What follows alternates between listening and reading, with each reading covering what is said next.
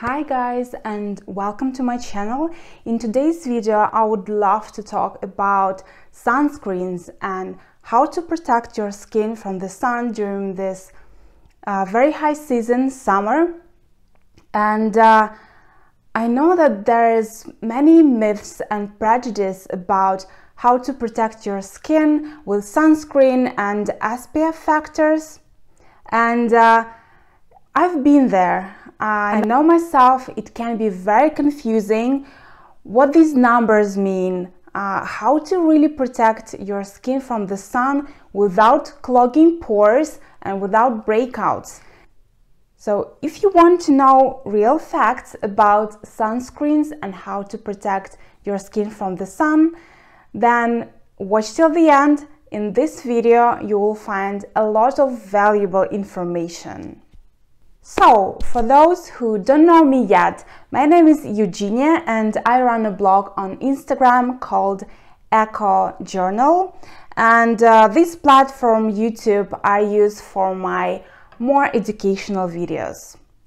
Okay, let's begin. Alright, in this video, we'll talk first about some really valuable tips you should use in your everyday routine when it's sun out there, whether it's summer in the part of the globe you live in, or maybe you live in Florida, let's say, where sun is very active throughout the year. So this video is just for you and believe me, after you learn all this amazing information, you won't have questions anymore about what is true, what is not, what to believe, it's all here in this video. And in the second part of this video, we'll talk about pigmentation and how to avoid it. All right, um, first you have to understand that there is three main pillars in terms of how to protect your skin from the sun. And first one is that you have to basically understand what kind of skin type do you have and depending on the skin type you know how much time you can stay under the sun without getting burned. Um, here somewhere on the screen you will see main uh, skin types that you have to identify yourself with and then you will actually understand more how much time you can spend under the sun without getting burned and then it will give you the idea how intensively you should protect your skin. Okay, the second pillar. And this information actually just a few people know. I wonder why, um, but Actually, it's not uh, a real surprise for me because these companies that are producing sunscreens, they tend to be a little silent about this. And this is UV index. Now, what is UV index? It's basically index that is shown how active sun is in the area you live.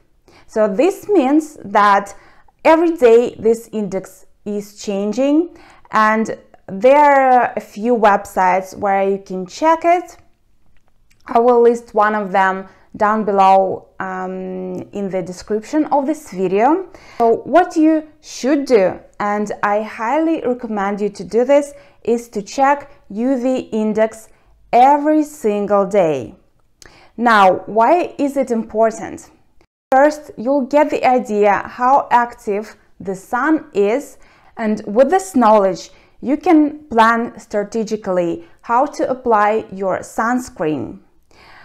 Uh, now, in the website I will list below, it will be an explanation what each number means, but basically before number 4, you don't even have to apply sunscreen. Now, here is uh, a little note here. Um, if you have a lot of pigmentation, doesn't matter what causes pigmentation, this rule might not apply to you. But if you are not prone to pigmentation or you don't have melasma or other skin problems, then you can skip SPF on the days when the sun is less active, even though it's summertime. The third pillar, and here I know everyone knows it's common knowledge, it's written on every sunscreen you will get, you should reapply sunscreen every two hours. And this is true guys, you have to because after some time your active ingredients in the sunscreen you have are starting wearing off and it means that basically the sunscreen you applied in the morning won't work in the midday. And this is important because sometimes people say, all right, this SPF was not enough. The sun was too active or this sunscreen was not good enough. It might not be true because probably it was you who forgot to reapply SPF sunscreen during the day. Think about it. Challenging to reapply your sunscreen every two hours. It's not really convenient, your skin will become more greasy, and if you wear makeup, then it's a completely different story. It basically makes almost impossible to reapply SPF because it will ruin your makeup. The best tip you will ever ever have, believe me, is that to reapply your SPF factor with mineral powder. Guys, believe me, it's life-changing basically. Once you use mineral powder to reapply your sunscreen protection, it will change your life, it will clog your pores much less than it would with uh, sunscreen and uh, it doesn't build up on your skin. It means at the end of the day, you won't stay with this basically mask of makeup. This is the huge advantage of mineral powder that it doesn't build up. It protects uh, your skin from sun damage as good as any sunscreen, believe me, and it's so easy to reapply during the day. All right, there are a couple of more things I want to share with you. Guys, believe me, you don't have to wear sunscreen every day. I know it's shocking, but it's true, as I said. Why it is so? Let me explain to you. Well, first of all, if you don't go out and if you don't plan to stay outside more than 20 minutes, 30 minutes, then there is basically no need to apply sunscreen. Yes, I know all the manufacturers and uh, brands of sunscreens are telling you, no, you have to actually wear it every day. But why are they telling you so? Think about it. Because they're basically producing this product and uh, they have to sell they have to sell and this explains a lot. Why it's okay to skip SPF when uh, you're staying inside? Well, of course, sun rays, they come through the window. This enhances the chances of getting pigmentation, but it's not always the case. And um, in this video, I would love to talk with you about three other reasons why people are getting this pigmentation. Now, these three alternative reasons are not maybe so obvious to you, but that's why I decided to make this video because I found out speaking with lots of people that they don't always realize the main reasons why they have pigmentation. And reason number one here is blue light.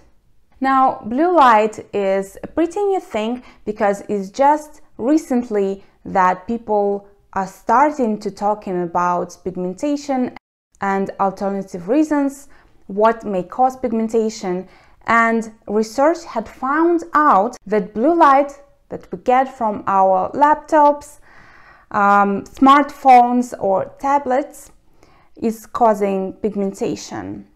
And this is a tricky one because even if you wear sunscreen, the blue light gets so deep into your skin, even deeper than UVA rays. Uh, it means that normal, usual sunscreens won't unfortunately protect you from the blue light and you have to find alternative products. There are quite a few actually that you should use basically yes on everyday basis. Moving on and this is a second reason why people get pigmentation is inflammations in your body. What does it mean? It means if you have some problems with either digestive system or pigmentation.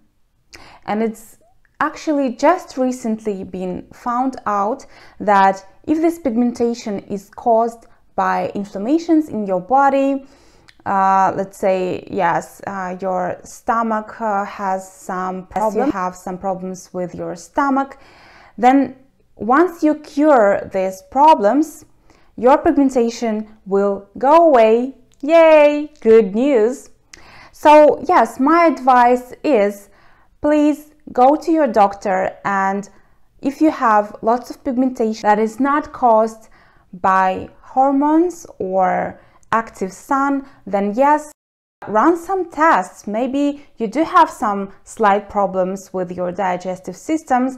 It means that once you cure your problems, pigmentation most likely to go away completely. The third reason, and I just mentioned it, it's hormonal problems. Yes, and this is a tricky one because it's quite difficult to treat and then you really have to find a very very good specialist um, because yeah sometimes it's a problem to find a very good doctor that will help you with your hormonal problems. And um, in this case yes it's a little bit challenging.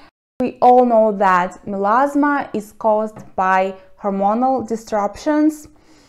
So yeah um, another thing to think about is when you use oral contraceptives, yes, it may also add to the factor of pigmentation and in this case you have to be very very careful with protecting your skin from sun damage. Alright guys, this is it. I hope it was very useful to you and you learned some new things. Maybe you will rethink your everyday routine and uh, maybe it will help you to understand why do you have this pigmentation that uh, you have on your body. And if you like this information please like and subscribe because on this channel I will share much more not so obvious tips and tricks and information with you. So you will be aware actually what is going on in cosmetic industry what products are safe what are not so much. And uh, i will see you in my next video. Thank you for watching. Bye bye